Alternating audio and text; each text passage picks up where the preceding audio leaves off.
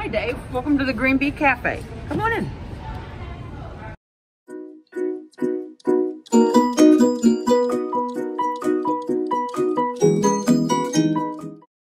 This is the, the Green Bee Cafe.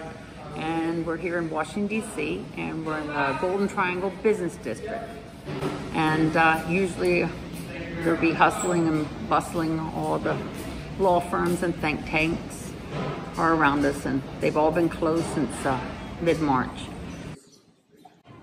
Now, normally we would have um, we would have uh, inside seating, but we don't right now because the governor, the mayor's orders. We're really hurting in this area of the city. Um, been empty. Uh, there has been grants in DC, but most of them go to the, the neighborhood areas, and uh, either I don't get them or um, not eligible for them. This is a Shantae. Uh, when you read all the great reviews online about us, uh, mostly they're about Shantae. Not that the rest of the staff isn't wonderful, but um, yeah, she, we definitely get good reviews um, because of her. Um, I've known Shantae a long time. I think we first started working together. Over 20 years.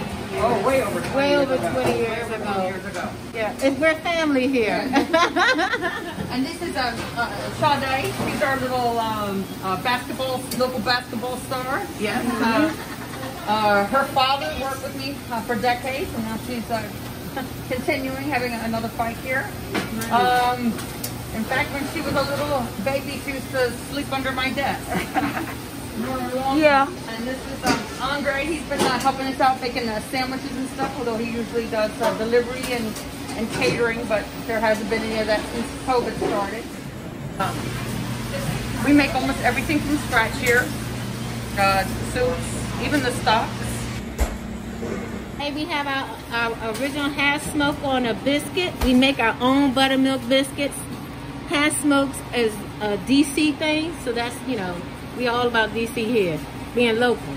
Did get um, money for uh, outside seating, but uh, there's been lots of construction on um, out, outside and uh, asphalt being poured and hammer jacks. It's, you know, it doesn't work out with the the outside seating and the to, to goes very slow. Um, like I said, the most of the businesses, almost all of the businesses are closed.